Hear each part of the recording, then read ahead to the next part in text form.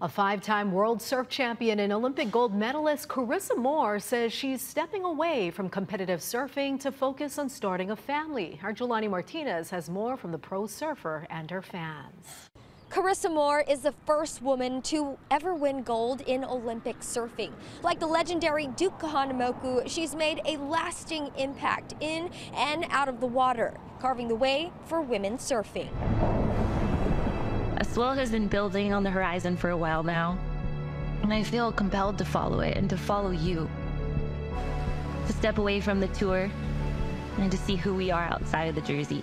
This is a video montage Carissa Moore posted on Instagram, reflecting on the lessons she's learned through surfing and letting fans know this isn't the end, but the start of a new beginning. She later followed with a statement saying, in part, The reality is the winds are fleeting and the feelings with it only temporary.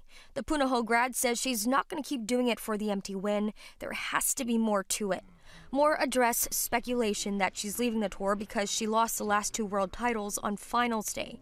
She says she's frustrated that she wasn't able to rise to the occasion, but proud of how she's shown up every year.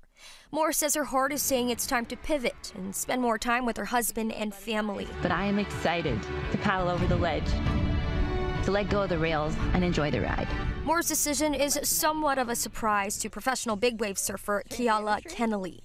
Well, the industry's losing one of the best female surfers of all time. She says if the World Surfing League didn't change to a winner take all finals day format, Moore would have had two more titles. That must have been so disappointing for Carissa to win the most events.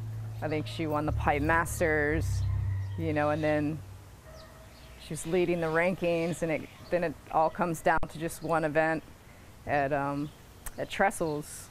You know, seemed pretty unfair to her, and that must have been so disappointing two years in a row. The WSL said in part, Moore is a champion and a role model in and out of the water. Her absence in the competitive scene will be deeply felt.